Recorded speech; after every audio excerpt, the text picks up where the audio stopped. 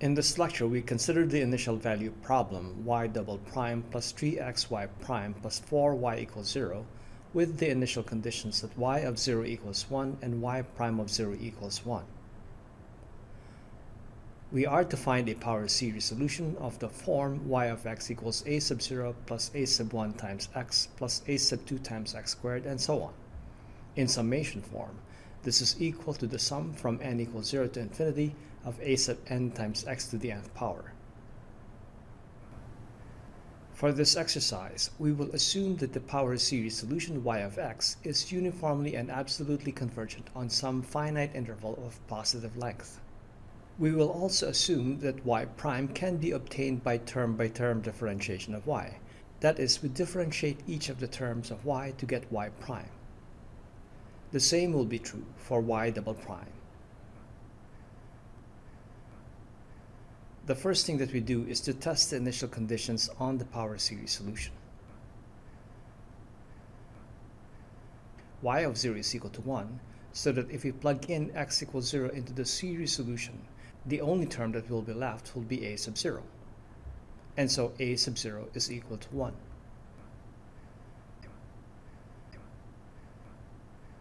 We assume that we can obtain y prime by differentiating each of the terms of y a sub 0 being a constant, the derivative is 0. The derivative of a sub 1 times x is a sub 1. The derivative of a sub 2 times x squared is 2a sub 2 times x, and so on.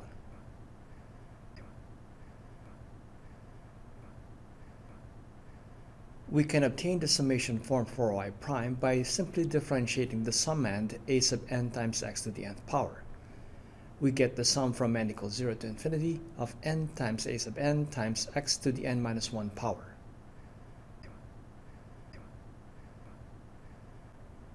We check the initial condition that y prime of 0 equals 1 into the series solution of y prime. Plugging in x equals 0 into the series representation for y prime, all the terms except for a sub 1 disappear. And so a sub 1 is equal to 1.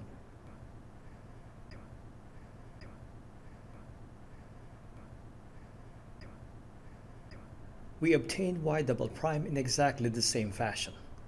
The derivative of a sub 1 is 0.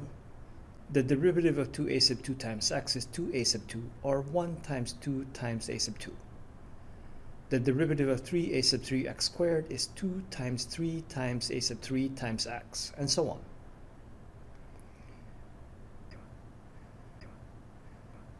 We obtain the summation form by differentiating the summand n times a sub n times x to the n minus 1 power in y prime and obtain n minus 1 times n times a sub n times x to the n minus 2 power.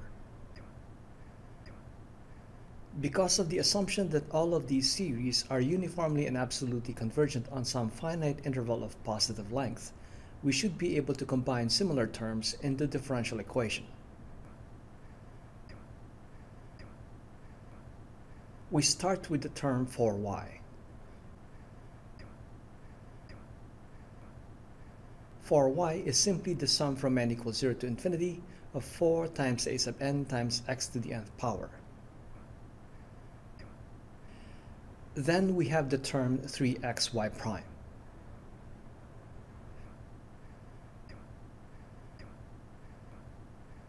Multiplying 3x to the series solution, we get the sum from n equals 0 to infinity of 3n times a sub n, and then we increase the exponent n minus 1 by 1 to get x to the nth power. y double prime is by itself in the differential equation, but we still have to manipulate the power series for y double prime. The reason is that we will be working with similar terms so that it would be nice if all of the summands in the summations have all the same powers of x. We simply increase the exponent of x to the n minus 2 power to n, giving us x to the nth power. Change a sub n to a sub n plus 2. n becomes n plus 2 and n minus 1 becomes n plus 1. In short, we merely increase the values of n in the summand to n plus 2. We should also make corresponding adjustments to the limits of the summation for the series for y double prime. But fortunately, this is not necessary. Letting n start at 0 and go all the way up to infinity in the summation for the series formulation for y double prime still works. And so the differential equation in power series form becomes the sum from n equals 0 to infinity of the quantity n plus 1 times the quantity n plus 2 times a sub n plus 2 times x to the nth power. Then we have the sum from n equals 0 to infinity of 3n times a sub n times x to the nth power. And finally, we have the sum from n equals 0 to infinity of 4 a sub n times x to the nth power. And all of this is equal to 0.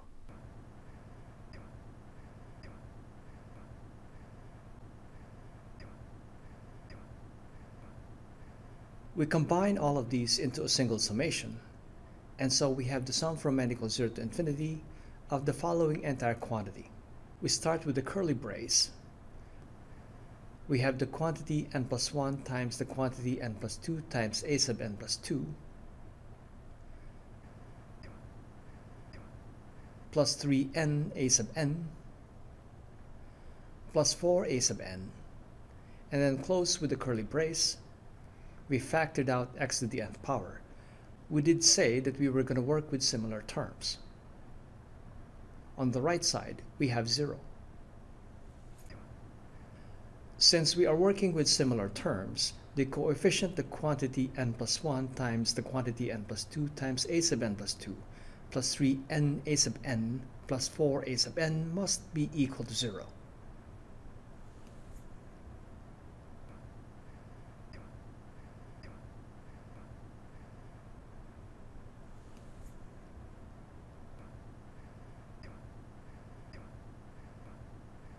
We bring the terms 3n a sub n plus 4 a sub n to the other side.